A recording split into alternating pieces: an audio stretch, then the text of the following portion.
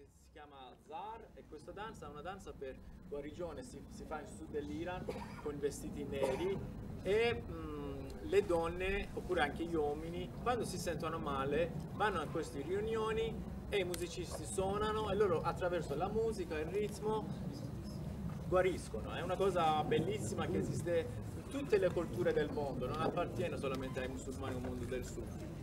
Ehm, adesso Zaira e Giolina interpretano diciamo, questi momenti, alcuni momenti di, di questo tipo di, di, di danza.